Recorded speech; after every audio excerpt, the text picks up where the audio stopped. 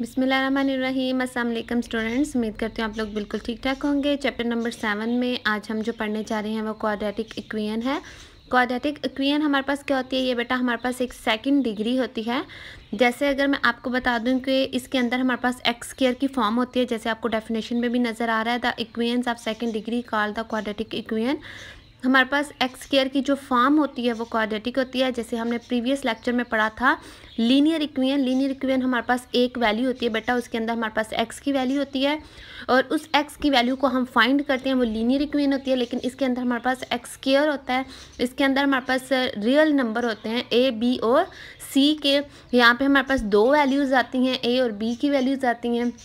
जैसे हम इसको क्वेश्चंस में करेंगे तो आपको क्लियरली समझ आ जाएगी। अभी हम देखते हैं कि इसकी एप्लीकेशन हमारे पास होती क्या है, कैसे हम इसको फाइंड करते हैं। तो नेक्स्ट हमारे पास क्या है? X square a x square plus b x plus c is equal to zero ये हमारे पास एक इक्वेन है, जैसे अभी मैंने आपको बताया कि क्वाड्रेटिक इक्वेन जो होती है, वो हमारे पास स्केयर की फॉर्म होती है। हमने लीनियर इक्वेन में पढ़ा है कि हमारे पास एक्स होता है एक्स की वैल्यू हमने फाइंड की है। लेकिन यहाँ पर हमारे पास एक्स केयर भी है। ये रियल नंबर होते हैं जब हम इसको क्वाड्रेटिक इक्वेन को सॉल्व सॉल्व करते हैं तो हमारे पास दो नंबर्स आते हैं, ठीक है? तो क्वाड्रेटिक इक्वियंस और लीनियर इक्वियंस सेम ही है। इसके थ्री मेथड हैं।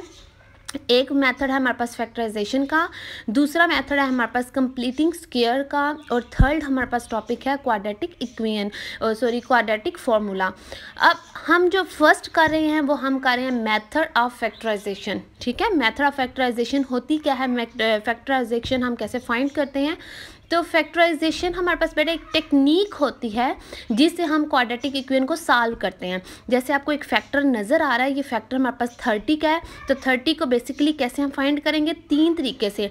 टू थ्री और फाइव के साथ भी कर सकते हैं, ठीक है? इनको मल्टीप्लाई करें तो हमारे पास थर्टी आ जाता है।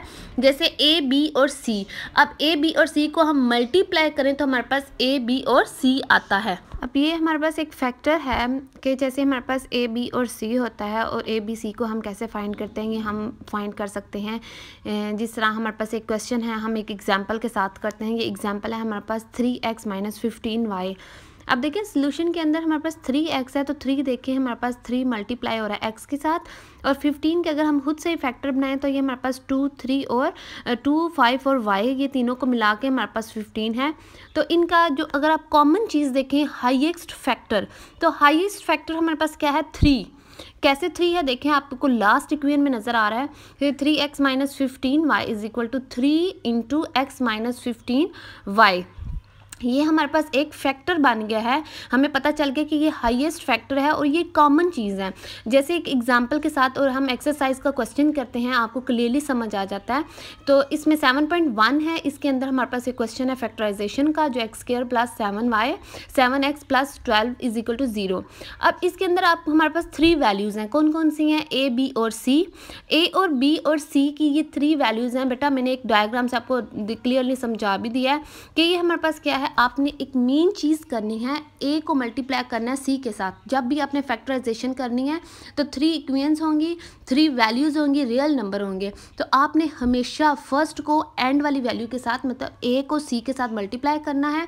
तो जो आंसर आएगा बारह। अब यहाँ पे बारह आंसर आ रहा है तो आपने दो ऐसे फैक्टर लेने हैं जिनको मल्टीप्लाई करके बारह आए। और जमा करके या माइनस करके सेंटर वाली वैल्यू आ जाए, ठीक है?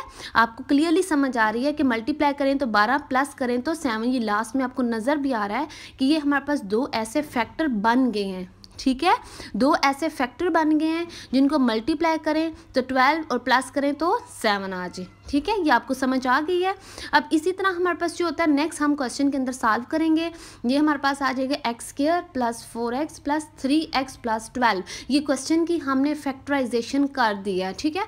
जब फैक्टराइजेशन कर लेनी है तो आपने एक्स को कॉमन ले लेना है। एक्स को कॉमन किया तो x plus four plus three x plus four is equal to zero अब अलग अलग ज़ीरो के इक्वल हैं तो आपके पास ये दो वैल्यूज़ आ जाएँगी। ठीक है? इसी तरह क्वेश्चन नंबर टू है, ये आपने खुद से सॉल्व कर लेना है। अभी हम question three seven point three करते हैं। सेवन पॉइंट थ्री के अंदर जो फैक्टराइजेशन है, वो मैं आपको करके दिखाती हूँ। ये हमारे पास माइनस की वैल्यू आ गई है, ठीक है? अब माइनस की वैल्यू को कैसे हमने फाइंड करना है? अब यहाँ पे हमारे पास ए इज़ इक्वल टू है one b is equal to minus four c is equal to minus twenty one तो बेटा, वही चीज़, वही प्रोसीजर हमने सेम इसी के अंदर करना है क्योंकि फैक्टराइजेशन है। तो इसके अंदर आपके पास जो आपने फ़र्स्ट वैल्यू को सी के साथ मल्टीप्लाई करना है तो वो आ जाएगा माइनस ट्वेंटी वन तो माइनस ट्वेंटी वन कैसे, कौन से दो फैक्टर होंगे जिनको मल्टीप्लाई करें? तो ट्वेंटी वन आए प्लस या माइनस करें तो माइनस फोर आए। तो आपको समझ आ रही होगी कि प्लस करके माइनस फोर आए मल्टीप्लाई करके माइनस ट्वेंटी वन तो ये दो फैक्टर है हमारे पास माइनस सेवन और प्लस थ्री के। जब माइनस सेवन प्लस थ्री को मल्टीप्लाई करें तो माइनस ट्वेंटी वन आएगा। माइनस सेवन प्लस थ्री करेंगे तो हमारे पास माइनस फोर आएगा, क्योंकि बड़ी वैल्यू के साथ माइनस है, ठीक है? नेक्स्ट हमने उसी तरह क्वेश्चन के अंदर सॉल्व करना है। हमने x square minus seven x plus three x minus twenty one ये हमारी फैक्टराइजेशन होगी है। अब हमने एक्स को कॉमन ले लेना है और x minus seven plus three x minus seven तो ये इक्वल आ जाता है। ये हमारे पास एक्स माइनस सेवन और एक्स प्लस थ्री के दो फैक्टर आ गए हैं। दोनों को इक्वल रखेंगे ज़ीरो के और हमारे पास दो रियल नंबर आ गए हैं। दो वैल्यूज़ आ गई हैं। X is equal to seven और x is equal to minus three इसी तरह क्वेश्चन नंबर फोर है। बेटा, ये क्वेश्चन को आप देखें तो इक्वल के अंदर दो वैल्यूज़ हैं। आपने सिंपल सोल्यूशन के अंदर करना क्या है? इनको आपने इक्वल कर लेना है। आपने इन दोनों को इकट्ठा करना है। इन दोनों इक्वेंस को इकट्ठा करेंगे इक्वल करेंगे ज़ीरो के। अब प्लस टेन एक्स और माइनस एटीन एक्स को जब आप सॉल्व करेंगे तो माइनस एट एक्स आएगा।